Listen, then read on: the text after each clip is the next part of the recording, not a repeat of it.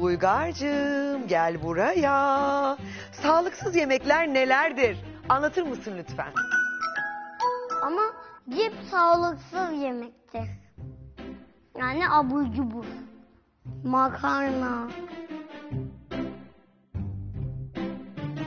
Spagetti. Sağlıksız.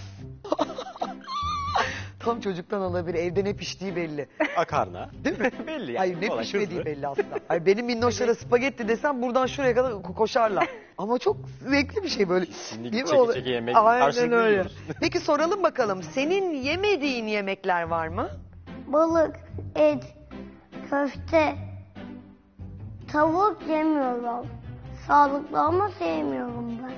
Anladım bir tanem. Ama bu saydıkların da biraz sağlıklı hani protein içeren şeyler ya.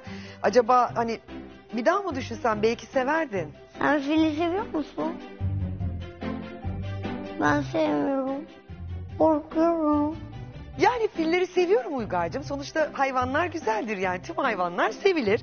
Ama sen filden korkuyorsan e, kesin onun ne yediğini biliyorsundur. Biliyor musun? Makarna bile yerler. Makarna uhu patlarlar. Makarna yersin patlıyormuş. Makarnaya aşeriyor sanırım ya. Evet ya. Neden spagetti pişirmeyeyim ki ben Uygar'a? Yapayım ben sana. Sana bir peynirli spagetti pişireceğim. Filler patlar diyor.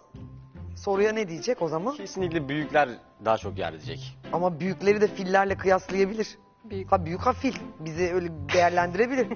Diyebilir. Umarım öyle değerlendirmez. Daha realistik düşünüyorum, düşünüyorum ama. Şimdi Uygar'cığım filler patlamasın. Onlar bir dursun.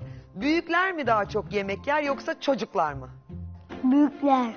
Ya vay be. Geliyor puan ya. Bak puan nasıl geliyor bak. Tak geldi. Değil mi?